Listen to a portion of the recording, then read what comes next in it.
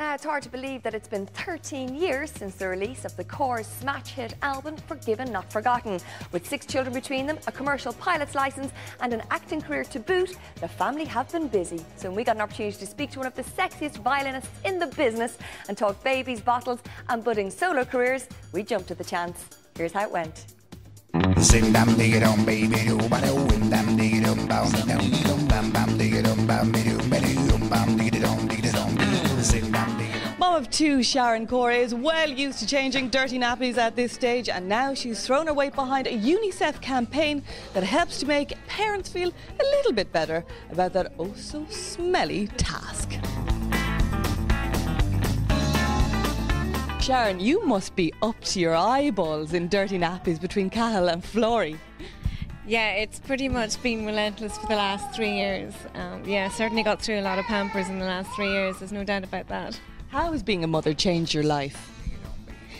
Um, I think it's a bit of a cliche, but it really does um, change your perspective on life and it changes changes your values on, on, on what's important. Um, they are my life now, and I absolutely love them. Music is also still very, very much my life. Um, but they um, they make you feel much more vulnerable as well to all the different things that go on in the world. So um, you just want to protect them forever. You know? They're only small, and Caroline has three. I can't believe that three. Yeah, she does. She has three. Yeah, yeah. How is she getting on with the, her three babies? She's busy. I mean, she's uh, she's in relentless school runs, and uh, just you know, she rings me up and she goes, "Oh God, it's Groundhog Day again here," you know. Um, but she's loving it. The kids are great.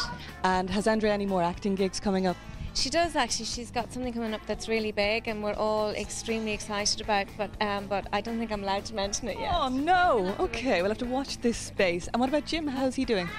Jim's terrific. Very happy with his little boy, um, and again enjoying life. So um, yeah, it's been a nice it's been a nice break from the treadmill for all, for all of us.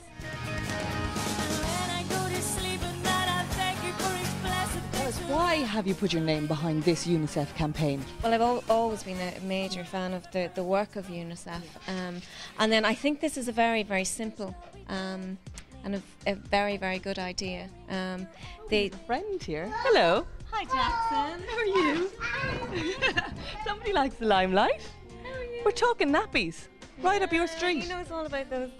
Um, I, I, think the idea of, um, you know, the, it's literally um, one vaccine um, donated by UNICEF for each each pack of UNICEF Pampers that you buy. So it's a great way for mothers um, to help other little uh, kids around the world, you know. The time is not on your side, but are we going to be seeing more music from the Corrs? Soon?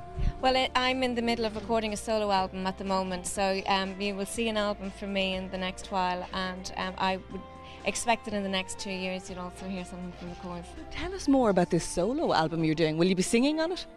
Oh yes, singing and playing. Yes. Right. Yeah. And what type of tunes are you doing? Uh, it, it's extremely difficult to describe. I mean, I've written them all, and um, I, I would like to think they're melodic and they're uh, my husband loves them. I suppose it's kind of a similar vein to the Corrs because I've written for the Corrs for years, so um, I you can't depart too much because it's what naturally comes to me. Um, so it's kind of you know pop rock feel. Yeah. Well, looking forward to it. Thanks a million for talking to us Thank on Xposé. You.